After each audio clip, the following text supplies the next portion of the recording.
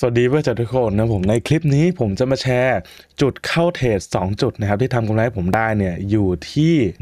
1,900 ดอลลาร์ภายในเวลา 1 วันนะผมซึ่งถ้าแปลงเป็นเงินบาทเนี่ยก็อยู่ที่ประมาณ 66,000 บาทก็ตีประมาณ 60,000 บาทนั่นแหละ นะครับผมซึ่งต้องบอกก่อนว่าอันเนี้ยคือบัญชีจริงบัญชีเดิมทุกครั้งที่ผมทำการเอามาให้ดูนะครับก็จะเห็นว่ามันคือบัญชี XM นะครับ8 1 5 5 6 4นะครับผมซึ่งก็คือ XM Global บัญชีจริงนะครับเป็นบัญชีUltra Low นะครับผมก็ไม่ได้มีค่าคอมมิชชั่นไม่ได้มีค่า swap ตรงนี้นะครับเป็นกิมมิคของบัญชีนี้ของทาง XM อยู่แล้ว นะครับจะเห็นว่ามีการฝากเงินเข้าไป 8,000 เหรียญนะครับแล้วก็ได้กำไรอยู่ที่ 1,900 ดอลลาร์นะครับนี่คือทั้งหมดภายในวันเดียวนะ วันที่7นะครับอาจจะมีเวลาเนี่ยต่างกันบ้างเพราะว่างผมไม่ได้เทรดทั้งวันนะครับผมว่างก็ดูนะครับแล้วก็เห็นช่วงเวลากราฟก็เล่นพอดีคือช่วงเช้านะครับก็จะมีช่วงประมาณนี้ก็ลองกดเทรดดูนะครับผมแล้วก็ช่วงค่ำนะครับซึ่งก็เห็นว่าช่วงเช้าเนี่ยผมมี sell GJ ไปก่อนนะครับได้ประมาณพันเหรียญนะแล้วก็ช่วงค่ำอีกทีนึง ได้ทองคำมา 2 คู่นะครับประมาณพันเหรียญเหมือนกันก็รวมกันไปประมาณนี้ นะครับหักเทรดที่เสียไปด้วย คลิปนี้นะครับได้รับการสนับสนุนโดย b r o k e r XM นะครับ b r o k e r Forex อันดับหนึ่งทั้งในไทยและต่างประเทศ ทาง XM เนี่ยเขามีโปรโมชั่นใหม่สำหรับ trader ใหม่ทุกคนเนาะก็คือ เพียงแค่เรานะครับสมัครเปิดบัญชีเทรดกับ XM นะครับก็สามารถรับ 30 ดอลลาร์ไปเริ่มต้นเทรดได้เลยฟรีๆนั่นเองนะครับและที่สำคัญนะครับถ้าเราทำกำไรได้เนาะกำไรตรงนี้สามารถถอนออกมาได้ด้วยนั่นเอง XM เนี่ยยังมีทีมงาน support สำหรับคนไทยโดยเฉพาะนะครับจันทร์ถึงศุกร์24 ชั่วโมงต่อวันเลยนั่นเองนะครับถ้าใครนะครับสนใจเนาะเข้ามาเป็นครอบครัวเดียวกันนะครับกับ XM ลิงก์สมัครอยู่ใต้คลิปนี้สามารถสมัครเข้ามาได้เลยนั่นเองนะครับนี่อาจจะเป็นครั้งแรกและครั้งสุดท้ายเราได้เจอกันก็ได้นะครับเพราะว่าคุณเนี่ยไม่ยอมกดติดตามช่องของผมนั่นเองช่องของผมเนี่ยผมบอกก่อนเลยว่าเป็นช่องการสอนเทรด forex ที่ดีที่สุดแล้วและเข้าใจได้ง่ายที่สุดแล้วนั่นเองการันตีจากเสียงนักเรียน 1,000 กว่าคน และที่สำคัญก็คือเนื้อหาหลักทั้งหมดเนี่ยในช่องนี้จะเป็นการเทรด forex กราฟเปล่าๆมีการไลฟ์สดทุกวันจันทร์ถึงศุกร์เวลา5โมงถึง3ทุ่มนะครับเข้าเทรดกันแบบสดๆเลยวิเคราะห์กันแบบเรียลไทม์ไปแบบ ขออนุญาตไม่กลับ สวยงามครับผม 15 ปิ๊บ นอกเหนือจากนั้นเนี่ยผมยังมีวิเคราะห์เทรดที่เข้า ทั้งเทรดที่แพ้ และชนะให้รับชมด้วยนั่นเองนะผม ก็ถ้าใครที่อยากประสบความสำเร็จในการเทรดนะผมก็กดติดตามไว้เถอะนะครับ เพราะมันไม่เสียเงินนะครับ แล้วก็อย่าลืมกดติดตามเพจ MJ o p o y ด้วยนั่นเอง เพราะว่าเพจนี้นะครับจะเป็นเพจที่มาคอยแชร์บทความการเทรดเกี่ยวกับ forex ต่างๆนานานั่นเอง ลิงก์อยู่ที่ใต้คลิปนี้สามารถกดติดตามเข้ามาได้เลยนะครับ เดี๋ยวผมมาวิเคราะห์ให้ฟังว่าการเข้าเทรดเนี่ยมันเพราะอะไรแล้วเกิดอะไรขึ้น แล้วเดี๋ยวจะมีบอกเคล็ดลับเพิ่มเติมที่ช่วยให้ผมเนี่ยกล้าเข้าเทรดมากขึ้นนั่นเองก่อนอื่นเลยนะครับเรามาเริ่มวิเคราะห์กันเลยดีกว่า ก็เป็นอย่างนี้ทุกครั้งอยู่แล้วเวลาที่ผมเอากำไรมาโชว์นะส่วนใหญ่จะเป็นวิเคราะห์ให้ฟังมากกว่าว่าเข้าเพราะอะไรไม่ได้มาโชว์อย่างเดียวแล้วก็จบเพราะผมคิดว่าการทำแบบนั้นไม่ได้มีประโยชน์นะครับประโยชน์ที่ดีที่สุดก็คือเราต้องมาดูว่าเราเข้าแล้วเพราะอะไรนะครับชนะเพราะอะไรแพ้เพราะอะไรนั่นคือวิธีเดียวนะครับที่จะทำให้เราเนี่ยได้เรียนรู้นะครับแล้วสามารถเทรดได้นั่นเองเนาะเทรดนี้นะครับขออนุญาตก่อนนะก็จะเห็นว่าจุดเข้าเทรดเอาทองคำก่อนแล้วกันเนาะจริงมัน GJ ก่อนเอาทองคำก่อนแล้วกันนะครับนี่คือกราฟทองคำ time frame 30นาทีมุมซ้ายบนนะครับจะเห็นว่า จุดเข้าเทรดที่ผมเข้านะ มันคือจุดตรงนี้นะครับแล้วก็ MD5 ครับมันจะมีข้อพิเศษอย่างหนึ่งก็คือ มันสามารถที่จะดูจุดเปิดเทรดได้จุดปิดเทรดได้ เพราะว่าถ้าเราคลิกขวาบนกราฟ มันจะมีคำว่าตรงนี้ครับเทรด history ซึ่งเราสามารถเปิดดูได้เลยนะครับนี่คือข้อดีของมันเห็นไหมถ้าผมปิดมันก็ไม่มีนะครับถ้าผมเปิดมันก็จะมีขึ้นมานี่คือข้อดีของมัน เพราะนั้นจำไว้ว่าจุดเข้าเทรดเราตรงนี้นะครับเดี๋ยวผมจะปิดตอนอธิบายเนาะเรามาเริ่มกันดูที่ time frame daily ก่อนเลยนะครับขออนุญาตปิดตรงนี้นิดหนึ่งแล้วกันนะครับเทรด history อะ เรามาดูที่ time frame daily ครับก่อนอื่นเลยถามว่าทำไมผมถึงตัดสินใจเล่นเซลล์ทันที่กราฟเนี่ยมันดูแล้วแบบเฮ้ยมันไซด์เวย์นะไม่ได้มีอะไรให้เล่นเลยนะครับมันอยู่จากการที่ว่าผมเนี่ยพยายามจะหาจังหวะเล่น แล้วไม่รู้จะจุดไหนดีนะครับก็เลย scalping สั้นๆนะจะเห็นว่าเก็บกำไรนิดเดียวนะครับประมาณ 20 pip นะครับแค่นั้นเอง เนาะซึ่งตอนนี้นะครับเรามาดูกันที่ time frame daily ก่อนเห็นว่า time frame daily นะครับราคาเนี่ยต้องถามว่าตอนนี้มันคือเทรนอะไร นี่คือการที่ผมดูเทรนแบบ basic พื้นฐานนะบางคนจะดูว่าเอ้ยมันคือเทรนขาขึ้นถูกไหมจริงๆแล้วเนี่ยมันก็ถูกถ้าเป็นภาพวงกว้าง แต่ว่าผมไม่ได้ดูอย่างนั้น เวลาที่ผมดูเทรนนะครับผมจะสอนนักเรียนผมทุกคนว่าให้เราเนี่ยปิดหมดเลย ปิดแบบนี้นะครับแล้วค่อยมาไล่ดูว่ามันเกิดอะไรขึ้นบ้าง ณ ตอนนี้นะครับถ้าผมปิดแค่นี้ผมถามว่ามันคือเทรนอะไร มันคือเทรนขาขึ้น ถูกไหมโครงสร้างเทนขาขึ้นเป็นยังไงครับ วิ่งขึ้นจุดสูงสุดลงมาทำแนวรับขึ้นต่อแนวรับขึ้นต่อแบบนี้ถูกไหมก็เหมือนกันครับจุดนี้นะครับลงมาแนวรับเพื่ออะไรครับขึ้นต่อ ถ้าราคาจะเปลี่ยนเทนต้องเป็นยังไง ต้องมีการทะลุแนวรับตรงนี้ลงมา ถูกไหมแล้วถามว่ามันเปลี่ยนเทนหรือยังอะลบตรงนี้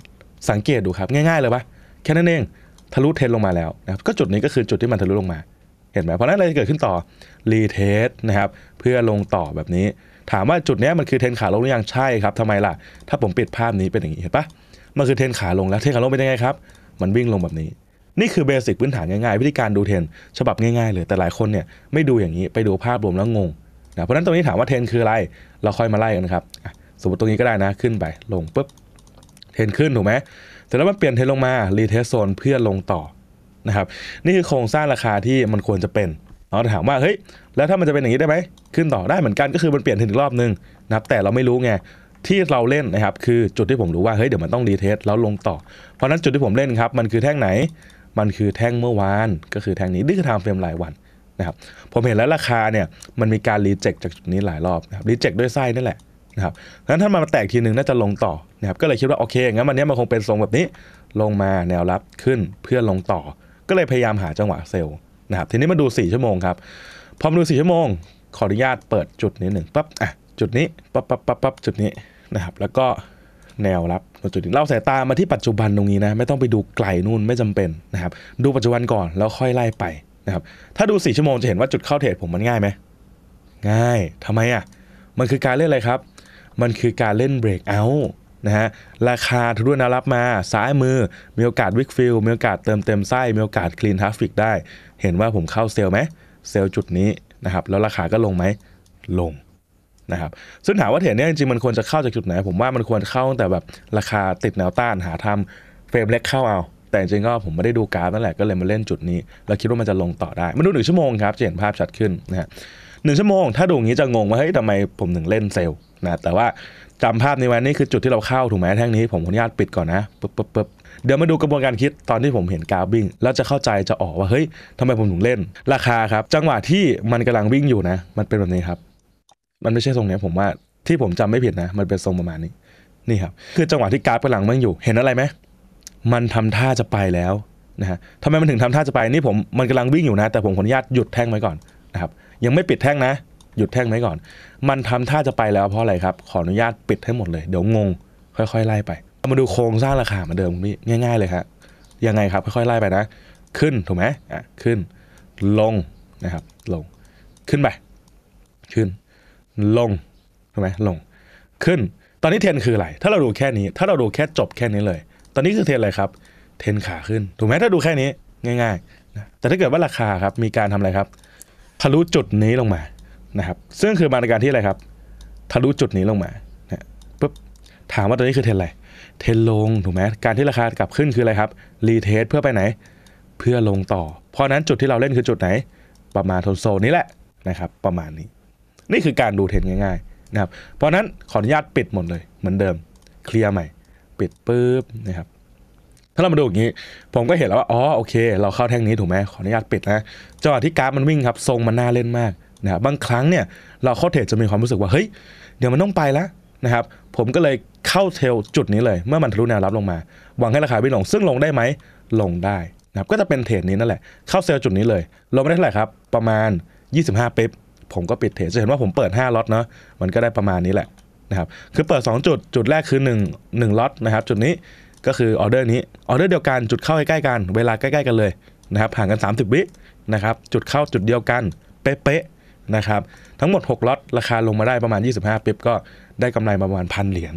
นะครับประมาณนี้นี่คือเทรดแรกทองคำส่วนเทรด US 30นะครับอันนี้เข้า buy นะครับผมเป็นการเข้า buy ตรงจุดนี้นะครับซึ่งก็น่าเสียดายเหมือนกันที่อ่าพอ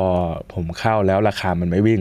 มันมาวิ่งอีกทีตอนที่ผมปิดไปแล้วนะครับซึ่งก็ มีอีก2 trade นะครับ เป็น trade US 30 เนาะ trade แรกก่อนเลยนะครับ trade อ่า trade นี้ sell 20ล็อตนะครับของ US 30ซึ่งเทรดเนี้ยจะเห็นว่าเดิมทีนะ ถ้าผมปล่อยโดนลากนะครับ จะเสียเยอะมากอย่างตรงเนี้ยราคาวิ่งไปแค่ประมาณ 600 จุดนะครับ หรือ 60ปิ๊บนะครับ ก็ได้แบบ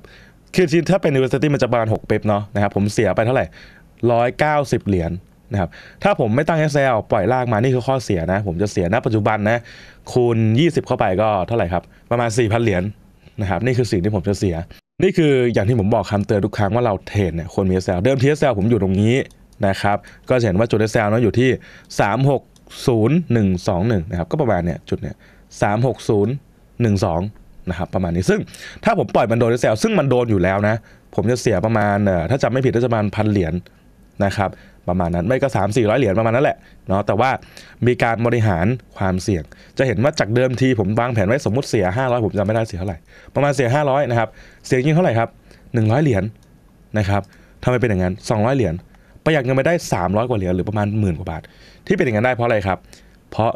เรามีวินัยเราฝึกเราเห็นกราฟบอกแล้วเฮ้ยทรงเนี้ยไม่น่าไปแล้วนะครับ ไม่ควรเล่นก็ไม่เล่น ที่ผม sell เนี่ยจริงไม่ควร sell ว่าแท่งนี้มีไส้เนาะแต่ผม sell เพราะผมคิดว่าแรงขายมันเยอะน่าจะลงต่อได้นะครับประจวบการที่ indicator ที่ผมทำขึ้นมาเนี่ยมันมีการโชว์สัญญาณ sell มาด้วยก็เลยคิดว่ามันจะลงต่อได้อีกนิดหนึ่งนะครับแต่มันลงไม่ได้ก็ตามนั้นเนาะก็ต้องบริหารความเสี่ยงไปต้องใช้ความรู้ที่เรามีประกอบด้วยไม่ใช่พึ่ง indicator อย่างเดียวไม่ได้นะครับ indicator แค่เป็นตัวบอกที่แบบว่า volume จะมาได้อย่างตรงเนี้ยถ้าเราเข้าใจ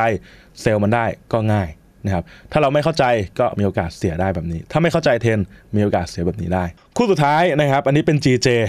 นะครับ sell มา 15ล็อตได้กำไรพันเหรียญซึ่งเห็นว่าผมเป็นจุดเล็กๆ บนกราฟเองนะข้างบนตรงนี้นะครับคือ trade เนี่ยผมเสียดายมาก ข้างบนเนี่ยผมกดเซลนะ จะเห็นว่าผมกดเซลมานะครับอันนี้เสียไปพันกว่าเหรียญนะครับผมกดเซลมา 10ล็อต สิ่งที่ควรจะให้เกิดขึ้นนะฮะคือโอ้โห ถ้าผมถือมาถึงปัจจุบันนะลองคูณง่ายๆนะครับ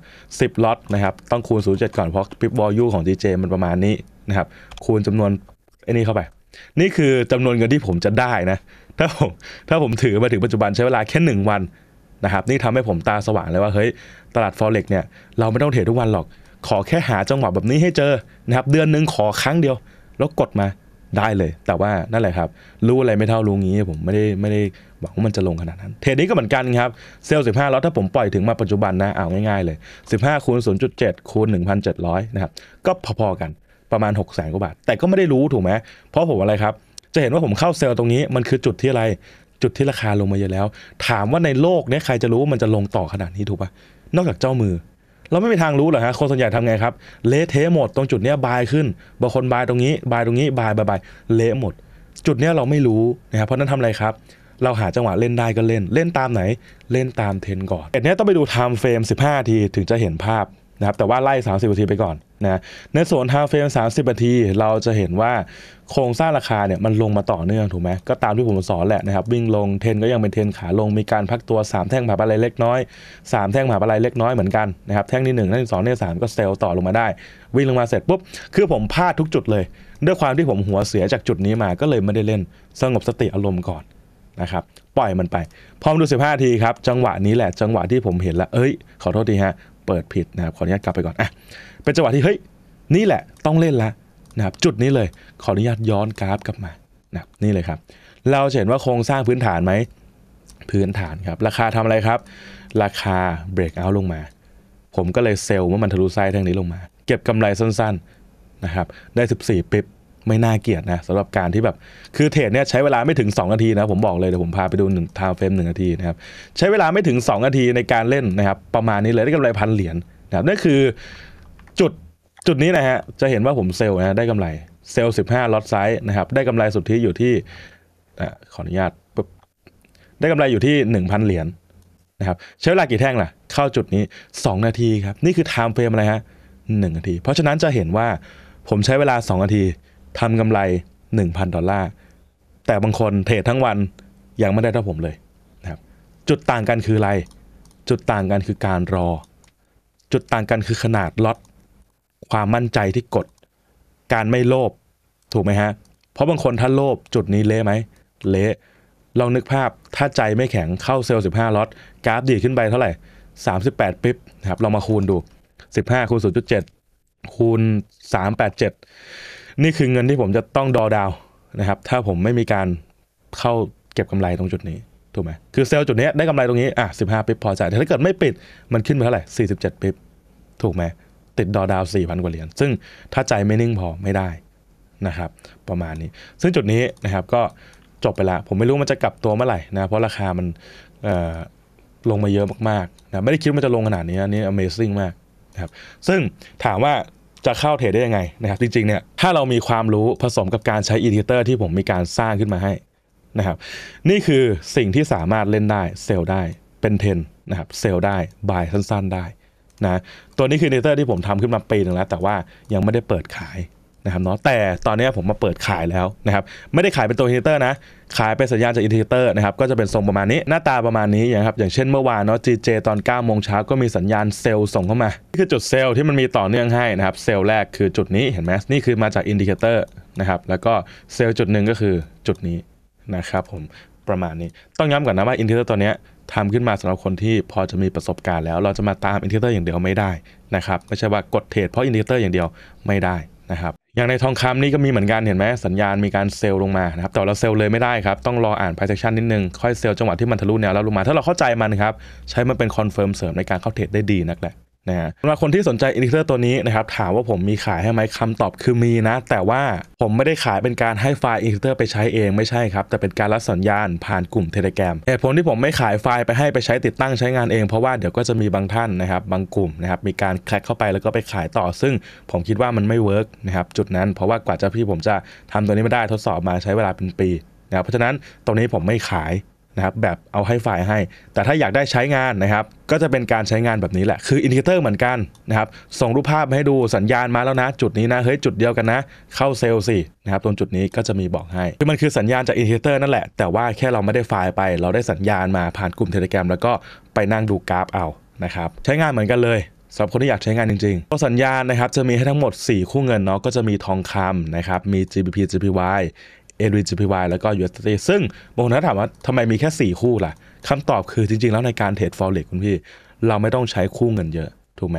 จริงๆนะเราเทรดแค่คู่เดียวให้เก่งก็ได้เงินแล้วถูกไหมครับ อย่างทองคำผมเทรดเดียวได้เท่าไหร่ 800 เหรียญ GJ เพจเดียวเท่าไหร่ได้พันเหรียญบางคนเทรดเป็นสิบคู่เงินยังได้ไม่เท่าผมเลยก็มีนะครับหรือบางคนเขากดเทรดเดียวได้ทีหนึ่งสี่ห้าล้าน ก็มีใช้แค่คู่เดียวก็มี เพราะฉะนั้นเราไม่ต้องเทรดเยอะครับ เราเทรดแค่คู่เงินที่มันดีๆ ก็พอ นี่คือผมคัดมาให้แล้ว ส่วนใหญ่จะเป็น timeframe 30นาทีนะครับ แต่ว่าเราสามารถไปคัดแยกเอาได้ว่า เฮ้ย เราจะดู timeframe ไหนเพิ่มเติมนะครับ ได้เหมือนกันซึ่งย้ำอีกรอบนึง บางคนไม่เข้าใจ เข้าใจผิดว่า เฮ้ย มันคืออะไรกันแน่ มันคือสัญญาณหรือเปล่า ไม่ใช่ครับ มันก็คือสัญญาณจาก indicator นั่นแหละ คือ indicator เลยนะครับ แต่ว่ามาส่งให้ใน Telegram นะครับ เป็นสัญญาณจาก indicator เน้น scalping เท่านั้นนะครับ ส่วนใหญ่ก็ประมาณ 10-20 pip หรือจะ run trend อย่างที่กราฟไม่มีก็ได้แต่ว่านานๆทีไม่ได้เกิดขึ้นบ่อยทุกครั้งนะครับนานๆทีถึงจะเล่นได้ ควรใช้ควบคู่กับความรู้เทรดที่มีในการเทรดกราฟด้วยนะฮะนี่ผมต้องเตือนก่อนเลยถ้าแบบมือใหม่เข้ามาดูแล้วเฮ้ยตื่นเต้นจังเลย สัญญาณมันมากด sell ให้ง่ายจังนั่นคือสิ่งที่เป็นหลุมพรางที่คนอื่นๆเนี่ยเขาทำขึ้นมาเพื่อหลอก แต่ผมไม่เคยหลอกอยู่แล้วนะครับผมต้องการที่จะพูดความจริงก็คือว่าเฮ้ยถ้าเราไม่มีความรู้เรื่องการเทรดกราฟเลยเนี่ยไม่แนะนำให้ใช้นะ เพราะว่าอะไรครับ เพราะ indicator มันเชื่อถือไม่ได้ร้อยเปอร์เซ็นต์เราต้องมีการดูควบคู่กับกราฟเปล่าด้วยนะครับสมมติอย่างเงี้ยถ้าเกิดเรามาเล่นช่วงเนี้ยถ้าเรามีความรู้ว่าเฮ้ยราคามันคือเทรนอะไร sell ลงมาได้ไหมเบรกแล้วลงมาเฮ้ย sell ได้ก็เล่นนะครับ sell ได้ไหมได้มันยังเทรนขาลงอยู่ sell ต่อเนื่องได้ไหมทะลุแล้วมาได้ก็ได้ ถ้าเราเข้าใจแบบเนี้ยมันก็จะเล่นง่าย แต่ถ้าเกิดเราไม่เข้าใจครับเราทำอะไรครับ เราเล่นทุกช่วงอะอย่างเงี้ยมันก็มีช่วงเสียถูกไหมช่วงที่มันเป็น sideway ถ้าเราไปฝืนเล่นเป็นไงครับเละเทะ นะครับช่วงราคาเปลี่ยนเทรนเล่นได้ไหมได้เปลี่ยนเทรนลงมาได้ไหมได้นะครับแต่ถ้าเกิดว่าอยู่ดีสวนเทรนไปเลยอย่างเงี้ยได้ไหมก็ไม่ได้ ก็ต้องมีความรู้ประกอบด้วยนะครับเพราะนั้น indicator ตัวนี้ก็เหมาะคนที่แบบเฮ้ยอาจจะเรียนคอร์สผมมาแล้ว หรือมีความรู้พื้นฐานบ้างแล้ว สามารถใช้ได้ แต่ถ้าเกิดว่าเราไม่มีความรู้เลยถามว่าได้ไหมก็ได้เหมือนกันครับ เพราะว่าอะไรครับ นี่คือสิ่งที่ได้รับนะผมเมื่อทำการสมัครใช้งานนะครับหนึ่งคือเข้ากลุ่มแจกสัญญาณ indicator นะครับสองคลิปสอนการใช้งานสัญญาณแบบละเอียดว่าต้องสมัครยังไงเข้ากลุ่มยังไง เริ่มต้นยังไงนั่นเองนะครับแล้วก็ 3 คือคลิปวิดีโอสอนนะครับอธิบายการดูหลักการในการเข้าเทรดบวกสอนเทรดเบื้องต้น ซึ่งก็อย่างที่บอกว่า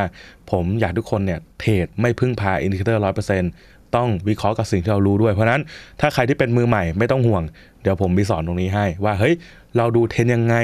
ดูรับต้านยังไง ดูต้องจุดไหนเล่นหรือไม่เล่นดูยังไง มือใหม่ใช้งานได้แน่นอน แต่ก็แนะนำว่าให้เราเนี่ยดูการสอนผมไปเข้าใจก่อน แล้วค่อยไปเทรดไม่ใช่เห็นสัญญาณมาแล้วกดเลยมันโอกาสเสียเยอะนะถ้าเป็นคนที่มีความรู้อยู่แล้ว ตรงนี้ก็ถือว่าเป็นข้อเสริมไปไม่ต้องมาเรียนก็ได้เนาะแต่ว่าผมมีสอนให้อยู่แล้ว นะครับไม่ต้องห่วงคือคำถามที่ผมว่าหลายท่านน่าจะมีคำถามนะครับคือสมัครอย่างไร สมัครเข้ากลุ่มนี้นะครับผมจะคิดเป็นรายเดือนนะครับตอนแรกคิดว่าจะขายแบบตลอดชีพเลยแต่ผมคิดว่ามันคงไม่เวิร์กเท่าไหร่ก็เลยเอาเป็นรายเดือนแล้วกันคือถ้าผมขายตลอดชีพเลยราคามันต้องสูงแบบ 5 6พันแน่นอน แต่ผมคิดว่าเฮ้ยราคาเอาให้คนจับต้องได้ดีกว่า ก็อยู่ที่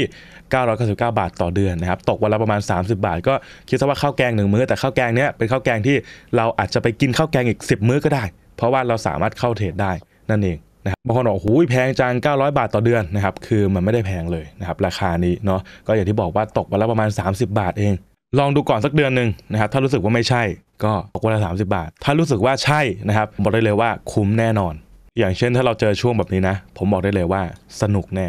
สัญญาณมีมาบ่อยไหมคำตอบคือขึ้นอยู่กับสภาพตลาดนะครับปกติจะมีเกือบทุกๆ1-3ชั่วโมงเนาะก็เรามี 4 คู่นะครับจริงๆเนี่ยมันจะมาทุก 30นาทีนะเพราะว่ากราฟถ้ามันมีจังหวะให้เล่น มันก็จะเด้งทุก 30นาที อย่างเช่นจุดนี้เห็นไหม9โมงครึ่งก็มีมา9โมงครึ่งก็มีมา แต่ก็ไม่ได้มีตลอดขึ้นอยู่กับจังหวะมันด้วยแต่ส่วนใหญ่ก็จะอยู่ประมาณนี้เกือบเกือบหนึ่งถึงสามชั่วโมงมีตลอดแต่มีให้ทุกวันแน่นอน แต่เข้าเทรดได้ไหมอันนั้นอีกเรื่องหนึ่งเพราะว่าอย่างที่บอกเราจะเข้าจุดทุกจุดไม่ได้นะครับบางทีกราฟมัน sideway อันนั้นเละเทะเลยต้องเล่นตอนที่มันเป็นเทร นะครับซึ่งหาจุดเข้าเทรดได้ง่ายๆอยู่แล้ว ถ้าสนใจเข้ากลุ่มแจกสัญญาณนิเคอร์ตัวนี้นะครับโปรโมชั่นปกติอยู่ที่ 2599 ต่อเดือนนะแต่ว่าผมลดให้นะครับต้อนรับเกือบเกือบจะปีใหม่แล้ว แล้วก็เป็นการเปิดครั้งแรกด้วยเปิดตัวครั้งแรกนะครับลดเหลืออยู่ที่ 999 บาทต่อเดือนนะครับเป็น subscription รายเดือนนะย้ำตรงนี้นิดหนึ่งเนาะแล้วก็มีสอนการใช้เบื้องต้นให้แนะนำวิธีเข้ากลุ่มอย่างละเอียดนะครับตรงนี้มีสอนให้หมดเลยถ้าสนใจเข้ากลุ่มครับติดต่อมาได้เลยที่ line id at mjpo นะครับผมมีแอดด้วยนะแล้วก็ทักมาว่า 999 นะครับรบกวนพิมพ์มาตามนี้ไปเลยจะได้รู้ว่าสนใจอะไรต้องการที่จะคุยอะไรกับแอดมินนั่นเองนะครับถ้าไม่ทักมาตามนี้ก็จะคุยกันนานหน่อยถ้าพิมพ์มาตามนี้โอเคง่ายเลยเฮ้ยโอเค สนใจเข้ากลุ่ม มือใหม่ใช้ได้ มีสอนให้มือกลางใช้ดีนะครับเป็น confirm เสริมในการเข้าเทรดได้เนาะถ้าสนใจครับไลน์ตรงนี้ติดต่อมาได้เลย หรือสแกน QR code ตรงนี้ก็ได้นะครับแล้วทักมาว่า999แล้วเดี๋ยวเรามาเจอกันในกลุ่มครับผม สวัสดีครับ